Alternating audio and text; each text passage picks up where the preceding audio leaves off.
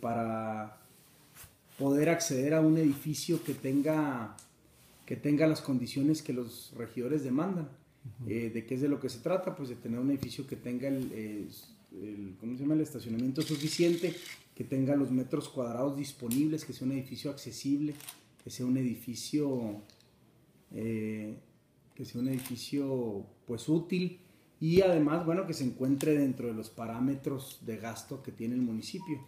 Tenemos algunas ofertas, este, algunos edificios por la zona del centro, que es donde se pretende pues este, albergar a los regidores, pero hasta este momento no se ha tomado ninguna decisión.